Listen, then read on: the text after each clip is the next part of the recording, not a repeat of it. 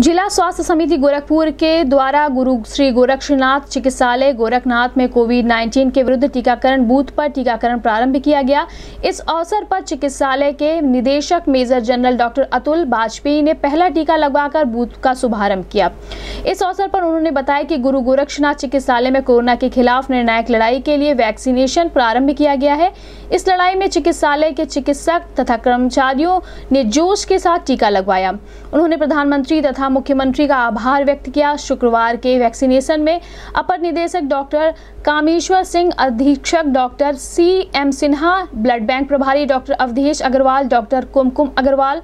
ACMS doctor Devi Prasad Srivastava doctor R P Pandey doctor Rakesh Tiwari doctor Diwakar Mishra छाती रोग विशेषज्ञ doctor Shashank Ojha urologist doctor Arvind Tiwari परामर्श चिकित्सक doctor Ashish Goyal doctor Sanjeev Gupta जनसंपर्क अधिकारी Devesh Pandey doctor A P Tripathi doctor Ashok Singh doctor V K Singh doctor Alok Singh doctor Sunil Singh doctor Kuldeep Singh doctor Abhishek Pandey सहित चिकित्सालय के technician तथा अन्य medical workers ने टीका लगवाया। इस संबंध में गोरखपुर न्यूज़ से बात करते हुए चिकित्सालय के निदेशक major general doctor Atul Vajpayee ने कहा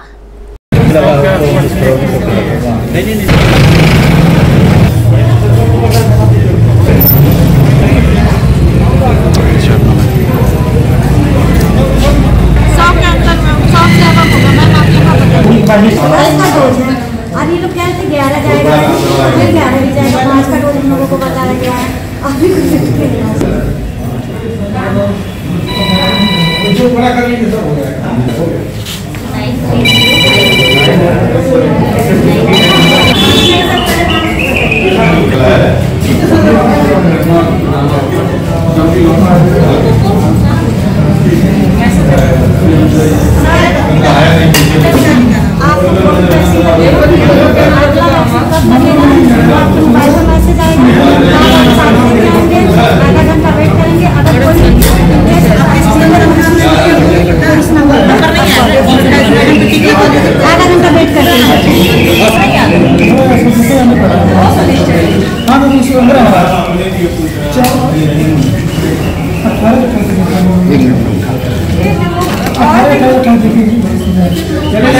आज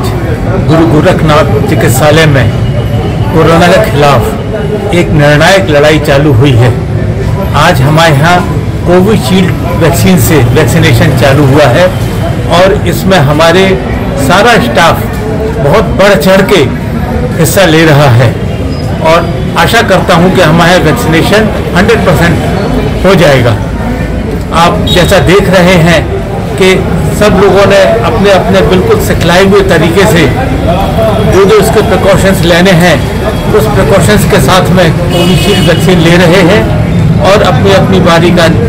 ठीक तरीके से इंतज़ार करके जहाँ पे वेटिंग हॉल जहाँ पे वो अपना सर्वेलेंस रूम है उस रूम के अंदर वहाँ पर उनका देखभाल चल रही है